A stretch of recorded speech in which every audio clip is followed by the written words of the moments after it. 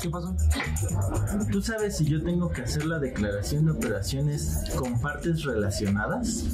En el último ejercicio fiscal inmediato anterior declaraste ingresos para efectos del ISR por más de 974.653.950 pesos. No. Al cierre del ejercicio fiscal inmediato anterior, ¿tuviste acciones colocadas en el gran público inversionista en bolsa de valores?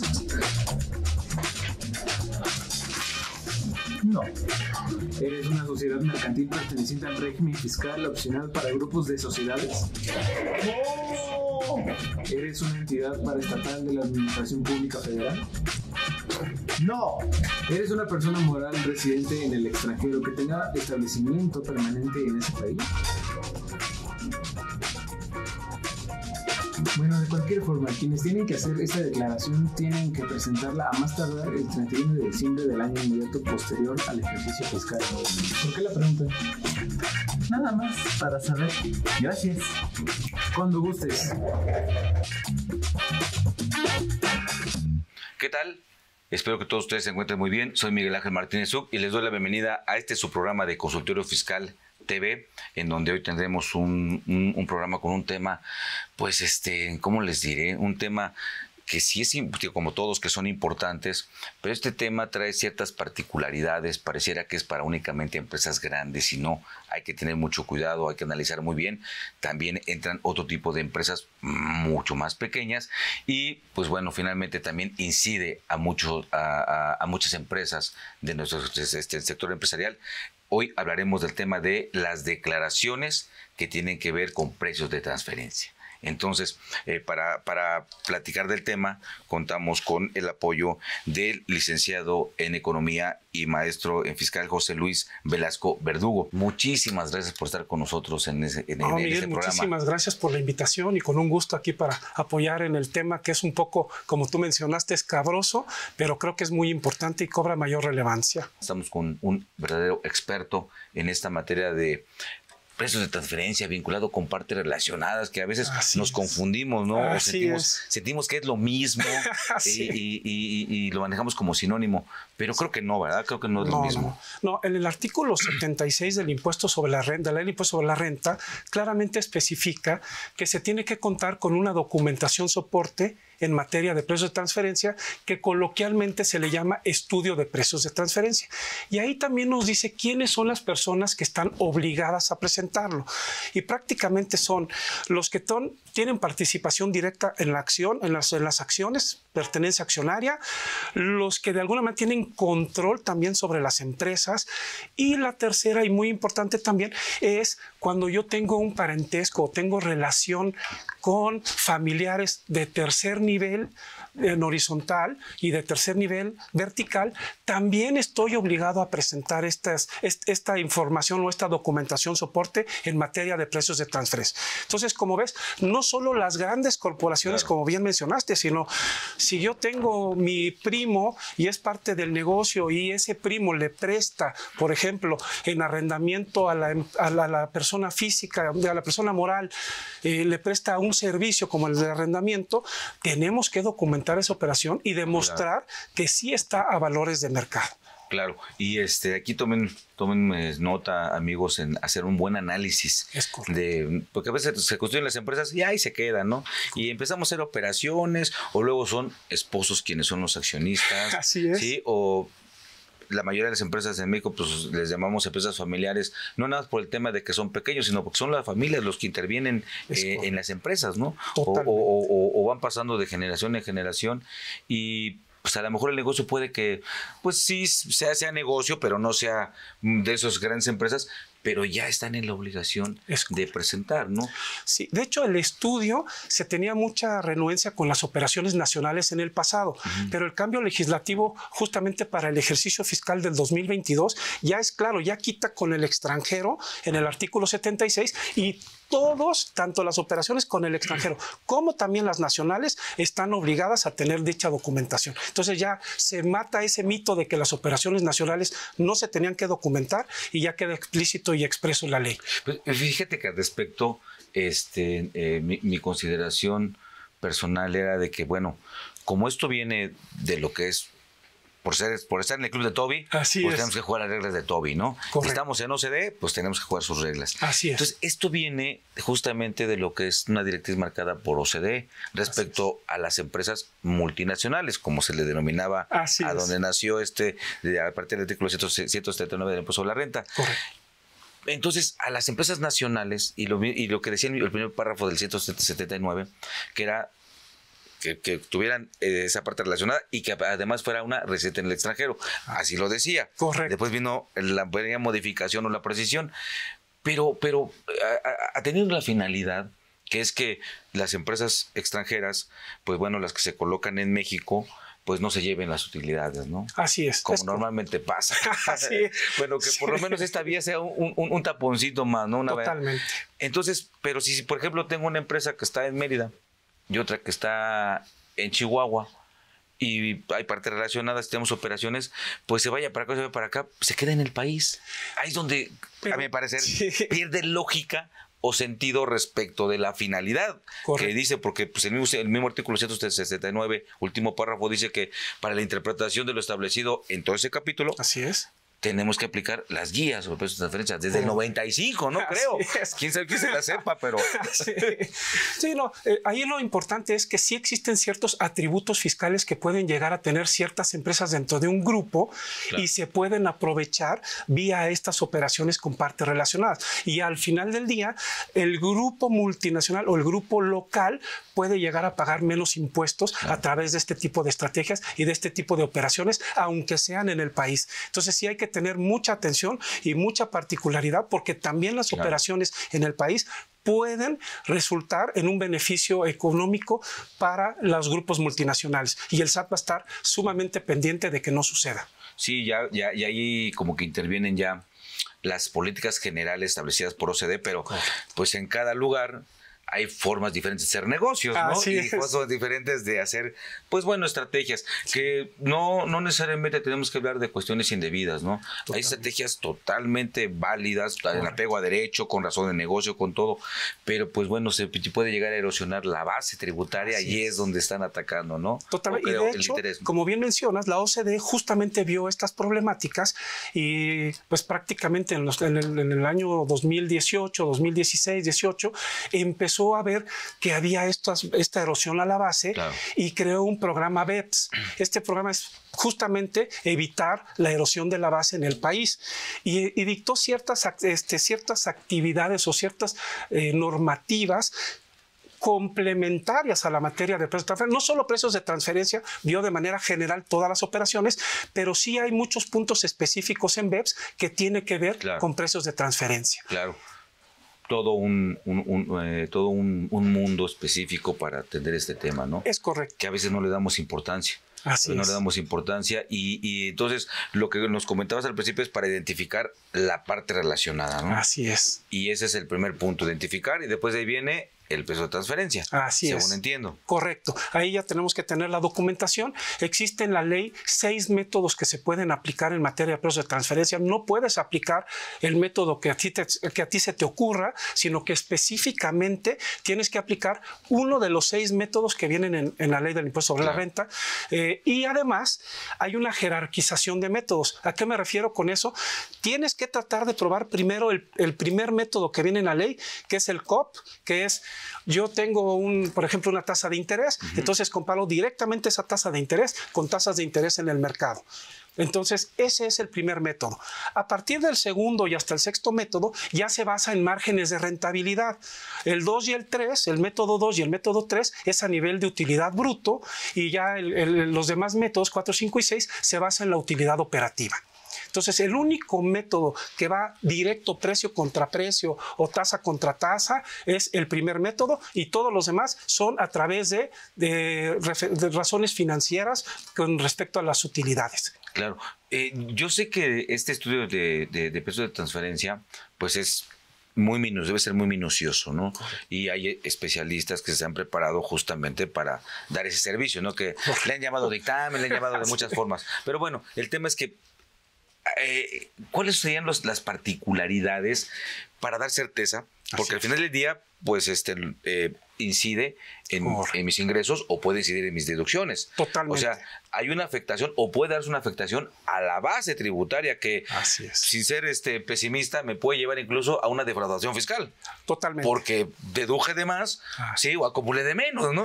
Entonces, eh, a lo mejor se, se genera ahí el tema de que tengo impuestos de, de adeveritas con ingresos de mentiritas, ¿no? Así es. por, por el estudio. Así es. No, entonces, correcto. entonces sí incide en la base. Pero ¿cuál sería el punto medular para que, por ejemplo, yo como empresario Sí. tenga esa tranquilidad de que, bueno, eh, contraté un- a- a- los servicios de algún especialista, Correcto. algún despacho, Así es. y que yo pueda tener la tranquilidad, porque pues hay algunos parámetros, razonamientos que Así tengo es. que tomar en cuenta. Total. Pero yo cómo sé si las, el tema de comparabilidad con un tercero respecto de lo que yo hago, que a lo mejor puede ser un, área- un trabajo muy particular, muy específico, dices, híjole, o sea... Lo más importante y la columna vertebral del estudio de precios de transferencia es el análisis funcional. Yo tengo que meterme a las tripas de la empresa que voy a analizar para ver qué funciones, qué activos y qué riesgos están involucrados en la operación que yo voy a analizar.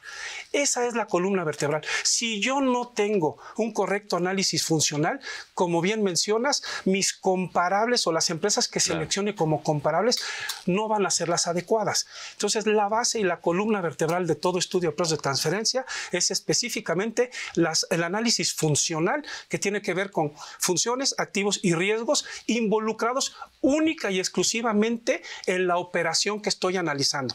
¿Y a qué me refiero con esto? No tengo que hacer un análisis de todos los activos de la empresa y de todas las funciones de la empresa, sino, por ejemplo, si estoy viendo una prestación de un servicio, ¿qué funciones estoy involucrando para prestar o recibir ese servicio? ¿Qué activos están utilizando para la prestación de ese servicio y qué riesgos estamos corriendo las partes específicamente en esa prestación del servicio? Y esa es la base para que podamos tener una excelente documentación en materia de precios de transferencia. Claro. Y, por ejemplo, eh, eh, eh, eso yo como empresario, ¿no? Porque a veces, ah, qué bueno, ya me lo entregaste y lo guardo, ¿no? Así y, es. ya, ya, ya, y ver si lo necesito o cuando lo necesite, pues lo, lo- lo llegaré a sacar si me toca la puerta la autoridad, ¿no? Correcto. Pero, ¿dónde puedo yo, o no sé, qué recomendación le puedes dar a, a- a nuestros, a nuestros televidentes en el sentido de en, en dónde tener cuidado, ¿no? ¿Qué, qué puntos me dan certeza de lo que nos estás haciendo favor de comentar? Correcto. ¿Qué puntos debo de analizar? Debemos de ver que tenga un análisis funcional, como ya comenté, que haya un análisis económico en donde Sí. claramente se identifique qué método se utilizó y por qué se descartaron los métodos que no se utilizaron, los comparables y, de- y demostrar de dónde se están obteniendo estos comparables, que es muy importante esto. Tiene que ser información pública y disponible para cualquier persona. Yo no puedo utilizar información eh, privada o particular para poder hacer estos tipos de análisis. Solamente que yo tenga un comparable interno. ¿A qué me refiero? Por ejemplo, que yo le venda a mi parte relacionada, pero también le venda a terceros independientes bajo las mismas condiciones, ahí sí pudiera utilizar esa información como comparable. Claro. Pero si no, sí tengo que recurrir a información pública y disponible. Eso es lo más importante y obviamente que en las conclusiones se vea que efectivamente el contribuyente está en cumplimiento, porque en muchas ocasiones se menciona que no está en cumplimiento o se disfraza o se trata de, de- de manipular la, la- la- la- la- la conclusión para decir, bueno, quedó un poquito por debajo del margen y como tratando de minimizar, pero ahí si no estoy en cumplimiento, la obligación, y lo dice la ley, es irme a la mediana del rango intercuartil que yo estoy determinando. Que, que- que- es el, ah, en el aspecto de matemáticas y de, y de es. cuestiones actuariales lo más complicado en materia fiscal, ¿no? Que por sentir intercuartil. No, y algo muy importante que tú mencionabas también. Por ejemplo, podemos llegar a la no deducibilidad de las partidas de las operaciones Claro, con parte claro. relacionada. Y como tú también, Miguel, mencionaste muy bien, la posibilidad de que si yo no tengo elementos, no tengo bases, no tengo documentación, soporte, efectivamente puedan decir pues que ahí hay una erosión a la base de manera eh, eh, de manera conductual, o sea, de manera premeditada Claro. y justamente podemos llegar a tener aspectos penales en la materia de precios de transferencia. Sí, y- eso hay que tenerlo muy en cuenta, este, eh, amigos, porque pues hay veces que no nos damos ni cuenta que ya estamos, como comentamos un rato, obligados a presentar este, este, los precios de transferencia, incluso marcarlos desde la declaración anual, ¿no? si tengo operaciones o no con partes relacionadas, porque no los, no los hemos identificado bien. Eh, un saludo a todos los amigos cibernautas, gracias por estarnos acompañando. Hay una pregunta que, que yo te iba a hacer, pero bueno, qué bueno que nos la hacen y aprovecho la, oportunidad. No, muy bien, claro. Este, eh, pues muchas gracias a, a Elizabeth de Disbe, gracias por estar con nosotros, a, Silvia Nin, muchas gracias, a Livina Reyes, a Diego Olvera, muchísimas gracias. Y Diego Olvera nos hace, nos hace una pregunta. Bueno, te hace una pregunta. Así yo, es. yo me resguardo. Dice, cuando las disposiciones fiscales se refieren al grupo de sociedades, se refiere al solo hecho de pertenecer a cualquiera de las sociedades comprendidas en la Ley General de Sociedades Mercantiles. Dice, o se refiere a pertenecer a más de una sociedad vinculada a otras o varias sociedades o a qué se refiere el término al grupo de sociedades. Sí, grupo de sociedades prácticamente lo que nos quiere decir es, en precios de transferencia lo que se interpreta y lo que se define es, si yo tengo una participación, como lo mencionamos, en una, de manera directa o indirecta, entonces ya soy parte relacionada. Y claramente es cualquier entidad dentro del grupo que estemos hablando de la holding o hasta los accionistas, hasta la última empresa del grupo que pueda estar colgando de cinco diferentes niveles, todas se consideran que son partes relacionadas. Entonces, definitivamente hay otros países en donde sí hay un cierto nivel o margen. Si no tienes, eh, por ejemplo, el 51% de las acciones, no se considera que eres parte relacionada. Pero en México no, no hay esa limitante. Entonces, con que tú tengas una acción de alguna de las empresas dentro del grupo o como bien mencionamos, tengas el control de alguna de ellas y con eso participes dentro de la actividad del grupo multinacional o nacional, ya te consideras que eres parte relacionada la parte consanguínea, que también resulta que son partes relacionadas. Y no hay ninguna limitante con que tengas una acción, ya se reconoce que eres una parte relacionada. Claro, y hay que tener eh, muy presente esto porque de repente nos basamos eh, así como el principio de que este, no, pues este, si robo poquito, no soy ratero, no pasa nada, ¿no? O acá que si robo mucho, o que si, pues, eh, no sé, cualquier cosa en la, declaración, pues fueron, pues fue poquito, a lo mejor no se dan cuenta, ¿no? A que si es una cantidad este, importante. Pasa lo mismo, no importa, con una sola acción que yo tenga, pues ya, este, ya, ya, ya estoy en lo que es parte relacionada. Miguel, y es fundamental lo que mencionas, porque cuando estuve del otro lado, cuando estuve en el SAT, eh, se invirtió muchísimo en tecnología y prácticamente toda la información que el contribuyente presenta ante la autoridad, inmediatamente ya tenemos manera de hacer cruces, ya tenemos manera de identificar.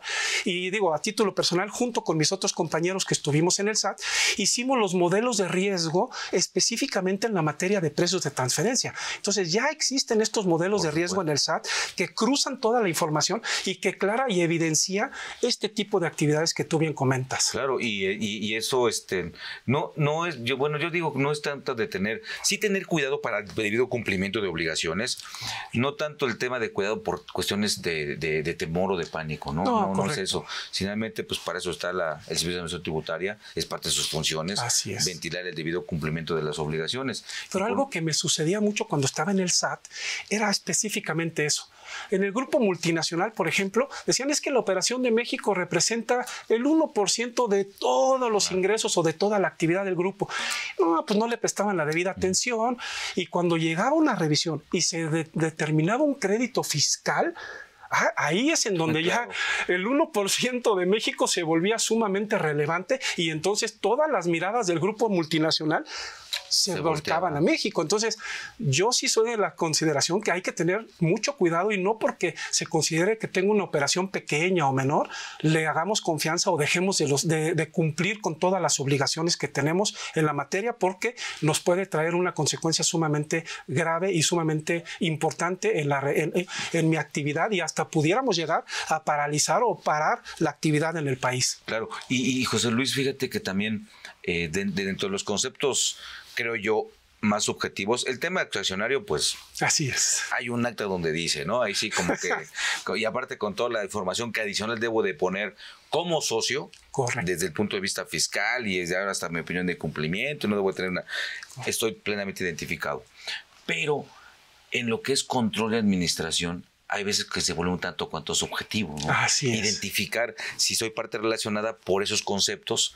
Eh, ¿Cuáles serían los puntos medulares para identificar en, en ese, en, en- en- ese sentido, ¿no? Mira, el ejemplo más claro que siempre ponía como autoridad es, si yo soy mm, parte del consejo de una empresa o a lo mejor soy el director de finanzas de una empresa, pero tomo decisiones sobre el, sobre el futuro de la empresa y adicionalmente yo soy accionista de otra empresa y esa empresa le presta servicios a la empresa en donde yo soy director de finanzas, ahí es una parte relacionada por control. Yo no soy accionista en la empresa en la cual trabajo o laboro, pero soy accionista en una empresa que le, que le da servicios o le vende o la actividad que nosotros queramos a la empresa en donde yo estoy laborando. Esa es por control una operación con parte relacionada. También, por ejemplo, otro que ha sido sumamente cuestionado, que pero el título personal es el mejor ejemplo de control, es cuando tienes una franquicia. Porque la franquicia te dice dónde te tienes que establecer, a quién le tienes que comprar, qué colores tienes que utilizar. Eso es el Claro. mejor ejemplo Hasta de el control. moñito de qué color debe de ser y con bolitas, ¿no? Ah, Totalmente. Entonces, para mí ese es el mejor ejemplo Claro. de una parte relacionada por control. Mucha gente dice que no, que, un- que una franquicia no se debe de considerar una parte relacionada por control. A título personal, yo considero que sí y es el mejor ejemplo del control. Claro. Y este, y, y por administración. Por administración, pues claramente es lo mismo. O sea, si yo administro, si yo tengo injerencia en la administración de una, de una entidad, Hay, hay nada más un perdón. Sí. En para dirigir un poquito más. Sí. En, en administración corporativa o en la administración operativa. Es correcto. Sí, cualquiera de las dos en donde yo tenga control en la administración, automáticamente yo me vuelvo parte relacionada. Y cualquier otra actividad de alguna otra entidad en donde yo participe, se van a considerar efectivamente partes relacionadas. Claro, esto pues, hay que tomar nota porque tenemos que hacer una buena revisión de cómo estamos en las Así es. empresas. eh, eh, est- eh, no nada más para identificar que somos partes relacionadas, ¿no? Si lo identificamos y ya somos, después viene el segundo, el segundo punto, que es tengo operaciones o no tengo operaciones, ¿no? Correcto, correcto. Sí, totalmente. Y una vez que identificamos que efectivamente tengo las operaciones, como ya comentamos, tengo que tener y, y bueno, no presentar, pero sí mantener la documentación, soporte en materia de transferencia, el famoso estudio de precios de Y transferencia. ahí es donde viene todas las obligaciones, incluso del, bueno, del, del tema que nos el día de hoy.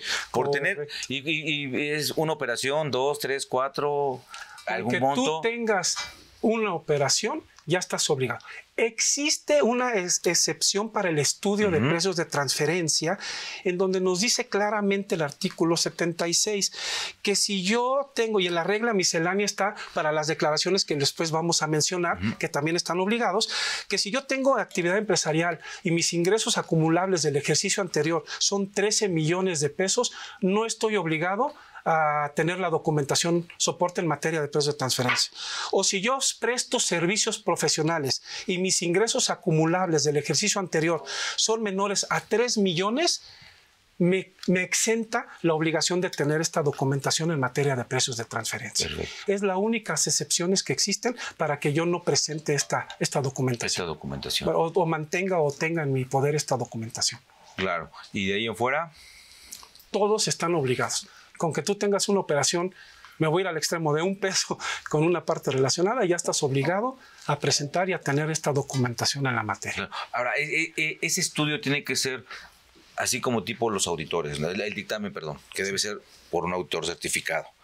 Este tipo de estudios, ¿hay alguna obligación de que, de que lo tenga que ser alguien certificado o con alguna patente, alguna autorización en particular? No, No, existen comités y existe gente que participa en estos comités, tanto en el colegio o en colegios o en distintas instituciones, que digo, están en el día a día y están sumamente capacitados, pero no, legalmente no existe ninguna, eh, eh, ninguna restricción. Cualquier persona puede elaborar un estudio de precios de transferencia y la autoridad no tiene por qué cuestionar eh, quién está haciendo esta, esta, esta, esta, esta- este estudio, pero en ciertas eh, documentales y en ciertos anexos, por ejemplo, del dictamen, para la gente que se presenta el DICIF, hay unos cuestionarios y ahí en, en algunas preguntas sí te dice, quién fue el que elaboró el estudio de precios de transferencia y cuál es su RFC. Entonces sí hay cierto compromiso, o sea, no, no nada más porque cualquiera lo pueda hacer, no tiene, no tiene ninguna obligación. Entonces sí hay reportes en donde claramente se, se, le informa a la autoridad quiénes están desarrollando y elaborado esta documentación. Claro, y, y, y, ese tipo de información, pues me imagino que es este, pues no sé, para efectos de también ver la el, prestigio o, o, si lo están haciendo adecuadamente y ver cuántos contribuyentes pueden estar en esa situación. Creo yo, ¿no? Porque digo, finalmente pues, eh, para algo se pide la información. Así es. Esto quiere decir que hay que hacer las cosas bien. Total. Nada más. Sí, sí, digo, ese, ese es el, el, mensaje, ¿no? Que debemos de verlo desde el punto de vista productivo. digo, creo que si yo siguiera siendo autoridad, definitivamente estaría poniendo el ojo y la atención cuando identifique algún estudio que no esté desarrollado adecuadamente, qué otros estudios elaboró esa, esa persona o esa firma y por supuesto no iría directamente a la fiscalización, pero sí lo revisaría con mayor detenimiento. Sí, y aparte sería, creo, como todo en fiscal, ¿no? que tiene su doble aspecto. Totalmente. Así como si lo hace muy bien, ah, bueno, sería también como también cierta credibilidad o garantía, ¿no? Correcto. Así como también si lo hacemos mal, pues también, ¿no? Así está, ese doble aspecto respecto a esa información que, que de repente tenemos que dar a, este, a la autoridad. Y pues bueno, finalmente amigos, este, eh, es un tema que sí hay que, repito nuevamente, analizarlo, tener, tener muy presente, hacer muy bien nuestra forma de, incluso pues la parte corporativa, a veces no la tenemos al día y de repente entran socios y únicamente hacemos afectaciones contables y nos, nos olvidamos un, un poco de la parte accionaria o algunos accionistas, bueno, en fin, cuidar la parte corporativa que es muy importante. También un punto importante, los contratos, este, ¿cómo se llama? Los contratos donde manejamos este, la exclusividad Así es. Ese es un punto también de identificación, ¿no? importante. Eh, a mí como autoridad, muchas veces cuando pedía los contratos de las operaciones, me llegaban contratos sin firma o contratos que estaban establecidos en el año de 1960, en donde a lo mejor sí venían firmados, pero el que firmaba pues ya ni siquiera estaba vivo. Entonces, sino la documentación legal es la parte inicial y la base para el estudio y la documentación en materia de precios de transferencia. Así como para el estudio, el análisis funcional es la parte medular, el inicio de todo y donde nosotros como autoridad, cuando fui autoridad, podíamos constatar, pues es lo que tengo por escrito y justamente es la, cuestión legal. Entonces sí hay que tener muchísimo cuidado, como bien mencionas, en toda la documentación y en todos los contratos que se tienen, que estén actualizados, que el contrato mencione lo que efectivamente se está desarrollando en la operación,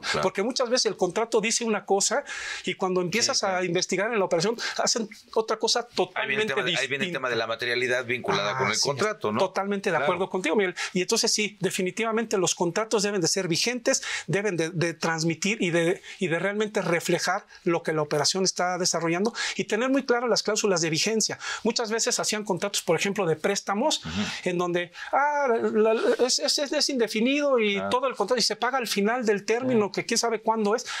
Todo debe de ser conforme a un tercero. Ningún banco te va a dar la opción de que tú pagues un préstamo al final del término. Entonces, que tenga con, o no hay una garantía y cosas de esas, ¿no? Así es. Que se hacen préstamos de ciertas cuantías y sin garantía. Entonces, a cualquiera también ese préstamo. ¿Qué pasó ahí? Así es. Es lo que yo decía como autoridad cuando me llaman con eso. Decía, bueno, hazme un préstamo a mí bajo esas condiciones y entonces con mucho gusto te lo acepto. Claro. Obviamente no, no, no lo van a aceptar porque no son condiciones de mercado. La asamblea no lo, no Así, Es. Pues muy bien, amigos, insisto, hay que tener mucho cuidado, hay que analizar muy bien las cosas analizar lo que, lo que la ley establece. Vamos a ir ahorita a una pausa y continuamos con este su programa de Consultorio Fiscal TV, hablando de lo que es la declaración de precios de transferencia.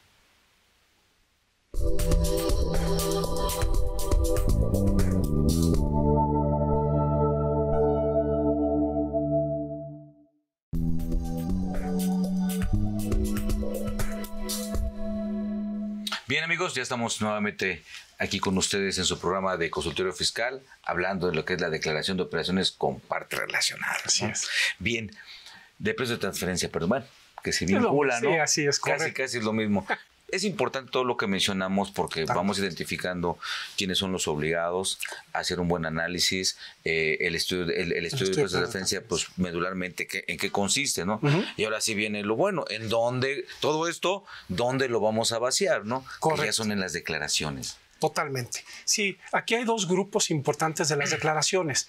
El primero, que es una sola declaración, que está justamente en el artículo 76 también, en donde se menciona la declaración informativa múltiple, específicamente el anexo 9, que hasta el ejercicio fiscal de 2021 nada más las operaciones con el extranjero se tenían que reportar en esa declaración. Sin embargo, con el cambio legislativo, a partir del ejercicio fiscal 2022, todas las operaciones, tanto nacionales como con el extranjero, van a tener que estar contenidas en esta declaración. Es un cambio sumamente importante porque, como bien mencionabas, antes nada más nos, preocupaba eh, el extranjero y ahora ya hay una declaración en donde también tengo que reportar todas las operaciones nacionales que yo haya llevado a cabo.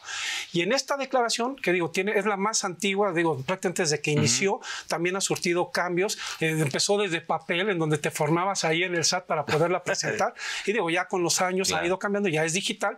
Pero sí, definitivamente este último cambio es sumamente importante porque ahora todas las operaciones con partes relacionadas tienen que estar contenidas en esta declaración. Y en esta declaración prácticamente lo más importante son eh, operaciones como, por ejemplo, lo que contiene prácticamente es eh, el, número de identificación fiscal, el domicilio fiscal, la razón social, si, qué método se utilizó, cuál es el monto de la operación.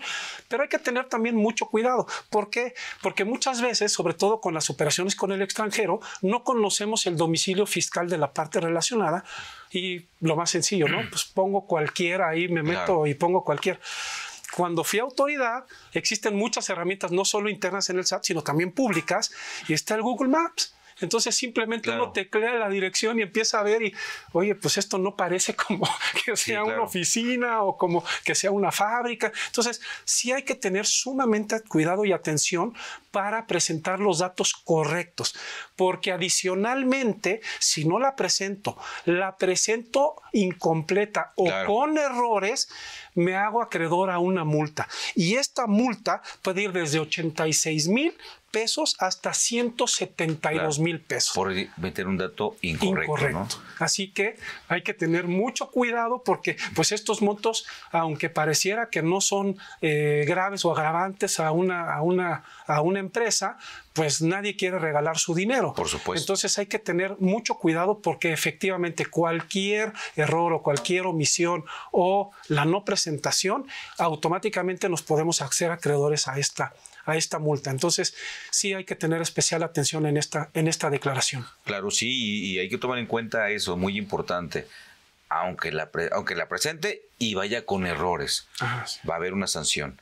No es nada más de ven, aclárame, ven esto, ven lo otro. La autoridad, pues bueno, ya, ya tiene autorizado por disposición de código utilizar estos medios cibernéticos de localización o de, de menos ver si sí parece o no parece, cosas como esas, ¿no?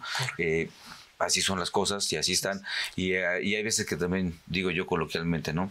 Eh, la burra no la ah, hicimos, ¿no? Totalmente. y de hecho, como autoridad, sí, como autoridad, cuando hablamos de estos modelos de riesgo que mencioné anteriormente, uno muy importante fue justamente el encontrar los errores que pudieran existir en estas declaraciones. Entonces, y nos llevamos una sorpresa muy fuerte como autoridades de la gran cantidad de declaraciones que se presentaban con errores o omisiones. Y sí, definitivamente, pues ahí está. Ya es un trabajo que ha hecho la autoridad y que seguramente hace o continúa haciendo.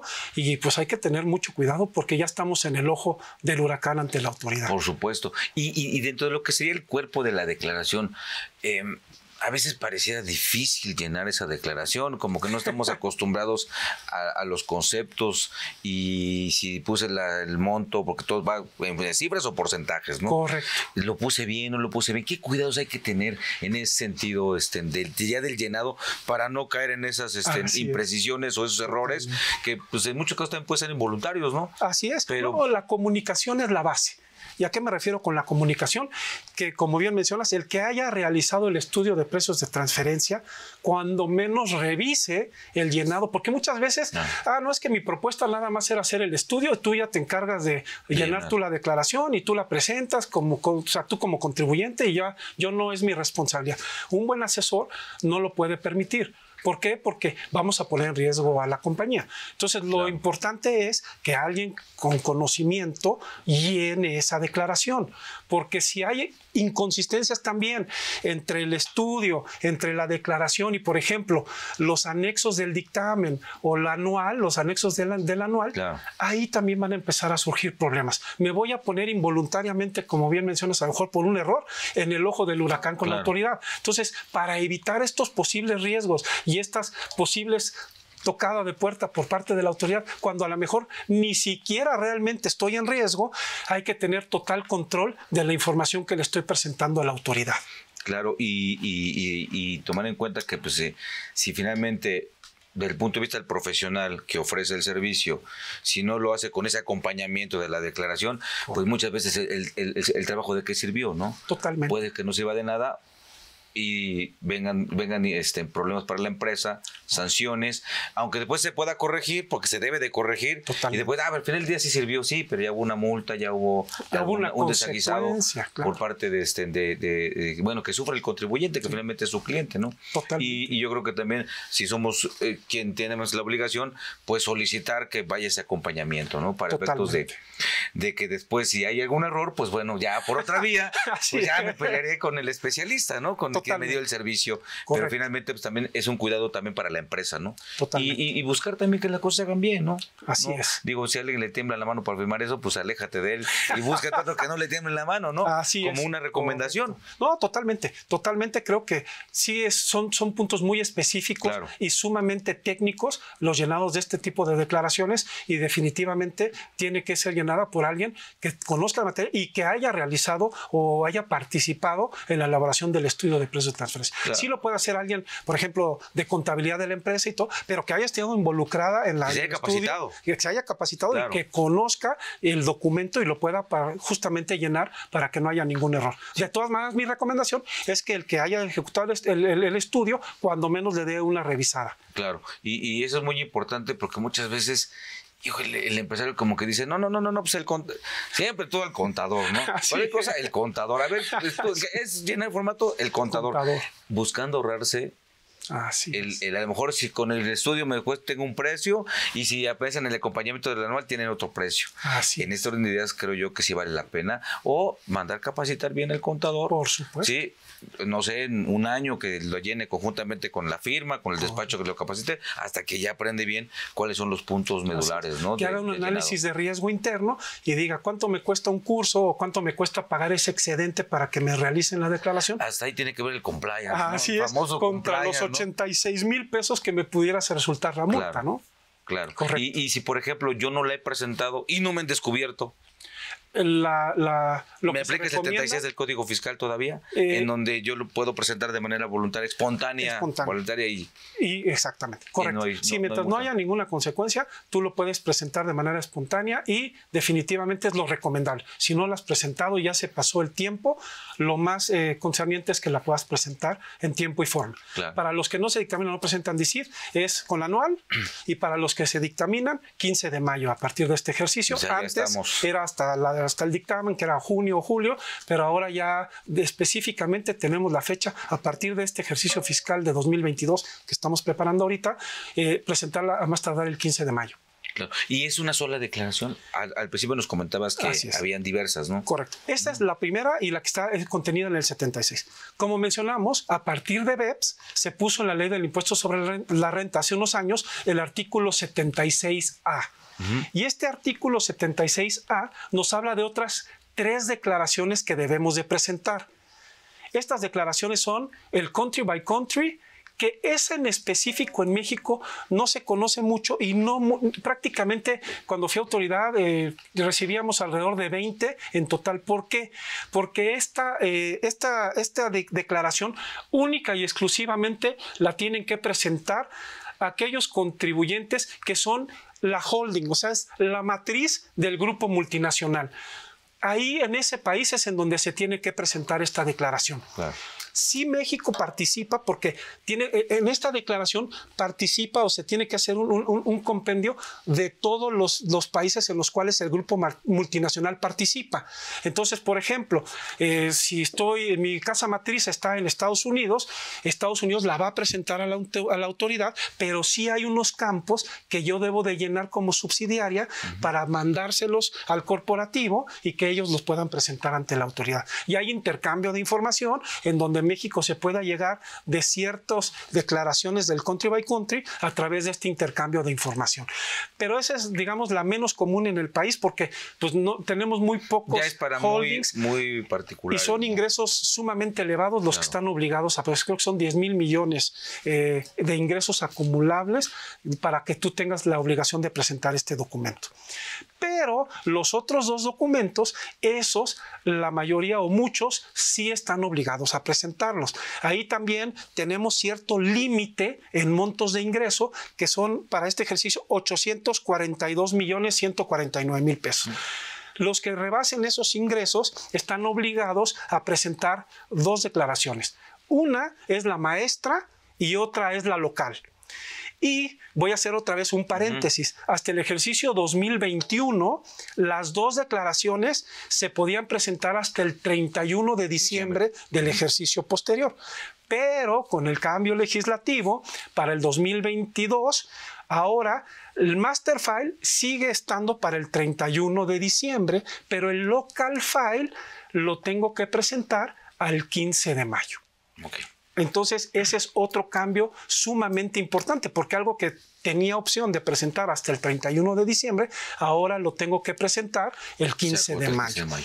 Y prácticamente el local file es mucho, eh, la, la información es la que viene contenida en, los, en el estudio de precios de transferencia. Entonces va muy de la mano con el anexo 9 de la DIM y definitivamente hay que tener mucho cuidado con, también con este tipo de llenado de información, porque ahí prácticamente, lo que mencionabas muy bien, agarro el estudio y lo meto en el cajón. Claro. Pero en la información o en la declaración local vienen, vienen desde información de intangibles del grupo, viene información sumamente precisa que definitivamente tenemos que tener atención y debemos de llenar de manera adecuada. Y el master file es una descripción de todo el grupo multinacional en funciones, activos y riesgos, cómo está, en qué país participa. Esa normalmente la hace la casa matriz porque es la que compendia toda la información de todos los países y esa e- o normalmente ella es la encargada de hacer este documento. Y es uno de los pocos documentos que la autoridad permite que se entregue en un idioma distinto al español, en específicamente en el idioma inglés. Entonces, el, el master file lo puedo presentar en inglés al 31 de diciembre. Normalmente lo presenta o lo elabora la casa matriz, nos los, nos los da y nosotros ya lo presentamos ante la autoridad. Esas son las otras declaraciones que son sumamente importantes y que tenemos que tener mucho cuidado para que nuevamente toda la información, ya estamos hablando del anual, estamos hablando del DICIF y, de la- y- y de- y del dictamen, estamos hablando del anexo 9 de la declaración, ya estamos hablando de un master file y ya estamos hablando de un local file. Claro. Toda la información debe de ser en el mismo sentido. No podemos presentar informaciones distintas porque claramente eso va a ser un foco rojo para la autoridad y nos va a poner en una posible contingencia con la autoridad. Si, por ejemplo, soy una empresa que tengo una parte relacionada en el extranjero, pero es un país con el que no hay tratado, ni siquiera convenio para, Así es, para, Para la doble- para evitar la doble sí, tributación. tratado, tratado, ni tampoco para transferencia de información. Ok, ¿Estoy salvado? no. no, no, no. Porque dice, bueno, y si le preguntan, ¿qué? Ni le van a decir nada, ¿no? Así es. No, definitivamente, digo, con todo lo que ya mencionamos de los análisis de riesgo interno, pues ya tienes un, un- un riesgo latente aquí en México. Claro. Pero también la- el, el gobierno tiene manera de solicitud, aunque no se tengan este tipo de tratados, se puede hacer formalmente una petición para pedir información específicamente de ciertos contribuyentes. Habrá países que contesten rápido, habrá países que no, pero definitivamente hay que, hay que tener mucho cuidado porque no el que, el que no se cuente con un tratado de Ok. intercambio de información Ajá. o de evitar la retribución, automáticamente me salvan. No, definitivamente no. Y hay que guardar o salvaguardar que la autoridad sí se pueda llegar de información específicamente nada más con el master file. Con el master file, pues ya tengo prácticamente toda la radiografía del grupo multinacional completa. Entonces, ahí es muy importante que sí no nos confiemos en eso. Y si soy de los chiquititos, nada más tengo una empresa aquí y una empresa allá y ahí voy haciendo mis, mis, negocios, no soy un monstruo tan grande, un corporativo tan importante, simplemente tengo una empresa en otro país y una aquí. Y pues hay operaciones, pero aquella pues es de las que... Yo sigo un principio que digo que para la autoridad no hay recaudación pequeña. Entonces, definitivamente, eh, por más pequeña que sea la operación, sí hay que tener y, que hay, y hay que cumplir con, todos estos, eh, con todas estas disposiciones en materia de precios de transferencia hay empresas que son más riesgosas, hay, cada empresa medirá su riesgo, pero definitivamente pues lo más sano y lo más recomendable es que puedan dormir tranquilos los empresarios y, los que participan o los que tienen cierta eh, toma de decisiones en la compañía. Muy bien. Eh, fíjate que eso es muy, eso es también de cierta forma común, el tema de, de siempre tener en mente este no sé si sea como un aliciente nada más o, una o, un autoconsuelo, ¿no? El tema de decir, no, yo soy, em, sí, tengo mi empresa, pero no soy de los grandes, yo creo que a mí no me, a, mí no me toca, ¿no? Así es. Que, muchos de repente viven de eso, ¿no? a mí no me va a pasar y hacen muchas cosas. En ese sentido de lo que son, este, evidentemente las partes relacionadas con los precios de, de transferencia, ya nos comentabas que, bueno, ya hay controles muy efectivos para que la autoridad pueda hacer sus compulsas y evidentemente detectar donde, donde hay incumplimientos y bla, bla, bla, todo lo todo lo que conlleva.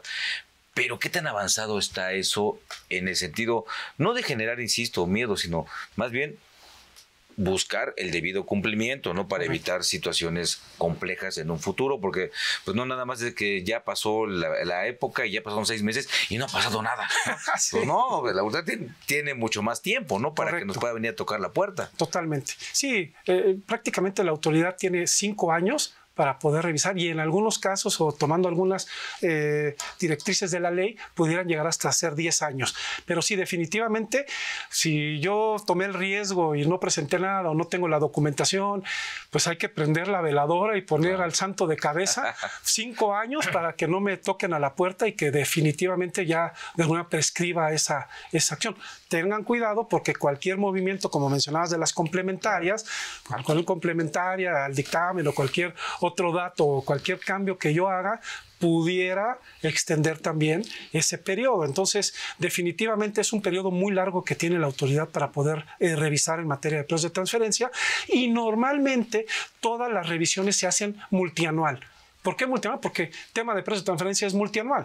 Entonces, si voy a revisar un año, seguramente voy a tener revisión de ahí en adelante ejercicio por ejercicio. ¿Por qué? Porque sobre todo si la operación no cambia ni nada, pues prácticamente y detecto algo como autoridad, pues lo voy a querer replicar en los años subsecuentes. Entonces no nada más es los cinco años hacia atrás, sino también la posibilidad de que hacia adelante, pues la autoridad me va a seguir tocando la puerta y me va a seguir auditando, me va a seguir revisando estas operaciones. Y, y aparte esto va avanzando más, ¿no?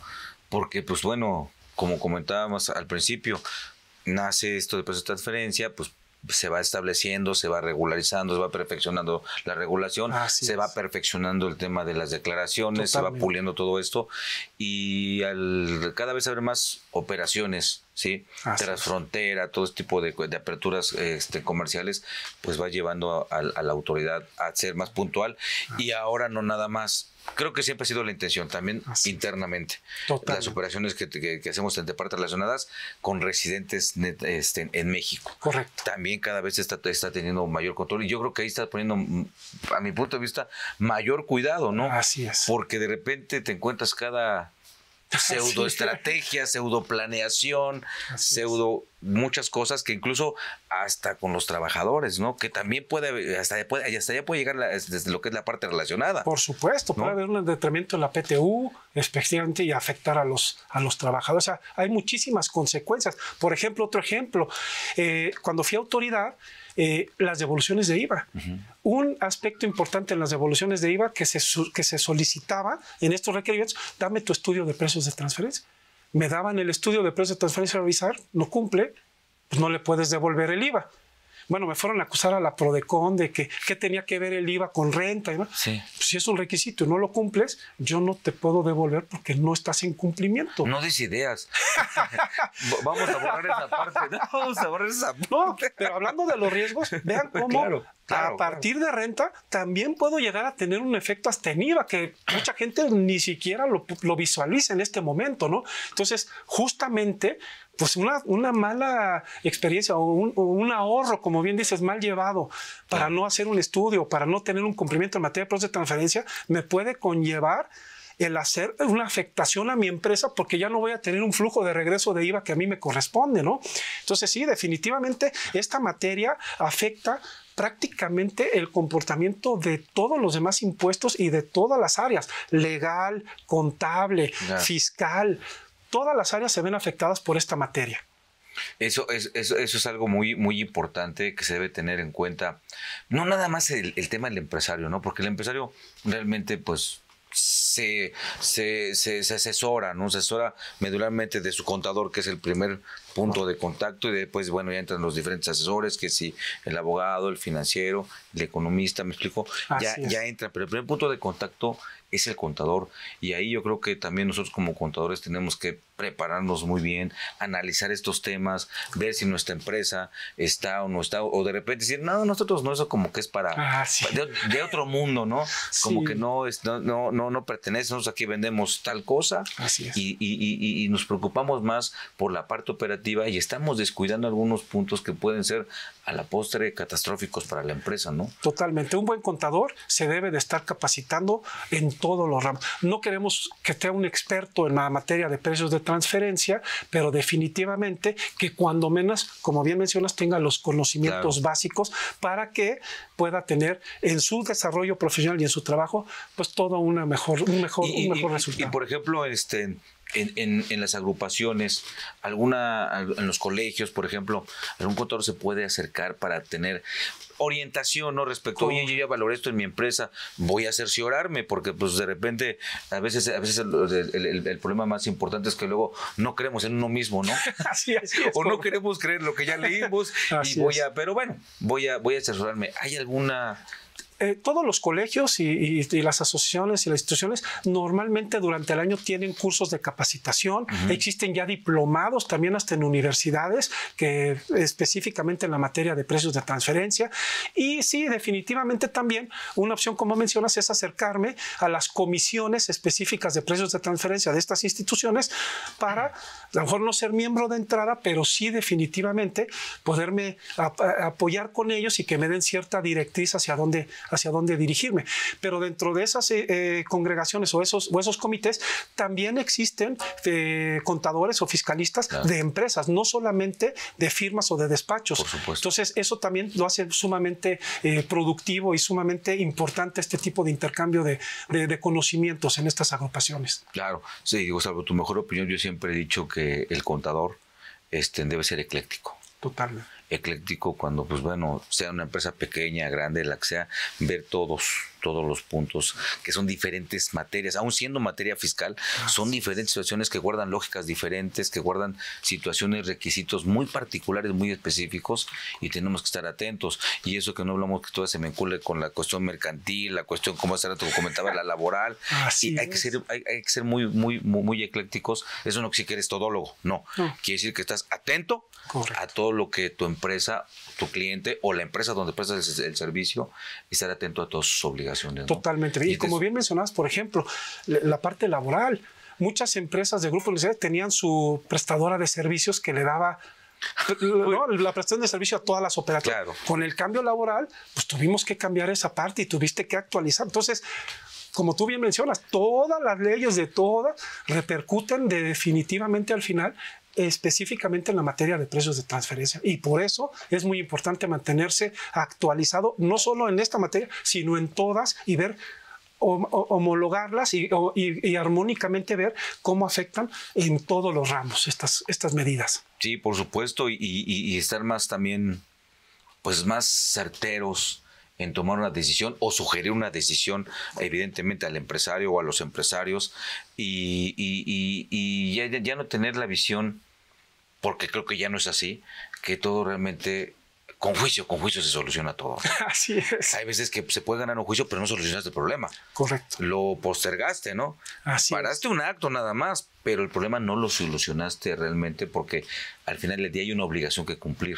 Correcto. Y esa obligación a lo mejor, lo digo con el debido respeto, para todas las autoridades y como exautoridad que fuiste, pueden haber errores, sí, sí, sí, en, en- en el acto administrativo, que al final del día, pues fui, me dejaste en efecto el, el acto ahorita, pero no, es eh, haber dejado en efecto un acto administrativo, no quiere decir que necesariamente ganaste la situación, Es no pague hoy, pague mañana, ¿no? Porque al final del día no lo hiciste y eso la autoridad pues ya lo sabe. Creo Por que también ahí puede hacer alguna recomendación en ese sentido, porque creo yo que no necesariamente siempre es el tema del, del juicio, el juicio, y a lo mejor más enfocado a lo que hace rato comentabas del famoso compliance, ¿no? Así es. De los, los, mis, mis, mi- mi- mi- mis riesgos, mi matiz de riesgo respecto de la situación que tengo en la parte operativa comercial de mi, de mi empresa. Sí, no, totalmente. Por ejemplo, una medida muy importante que, que se tomó fue la creación de la Prodecon justamente. ¿Por qué? Porque a lo mejor los tiempos legales que tenían las autoridades y los contribuyentes no daban para poder, porque es un tema sumamente eh, específico, entonces sí requiere de mucho análisis y de mucho tiempo de estudio y de análisis.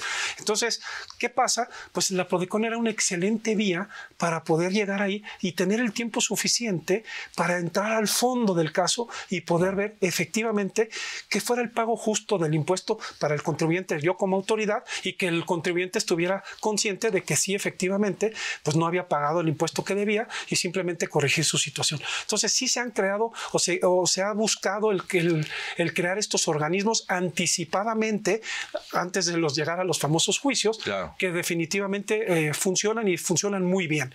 Ya los negocios no se pueden ser igual que antes.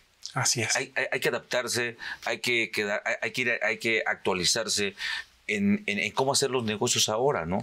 Ya no es como de que, no, así lo hacía mi abuelito y mi papá, y yo sigo haciéndolo igual, con manejo de cuentas bancarias, con manejo de cómo hacer las transacciones, las operaciones.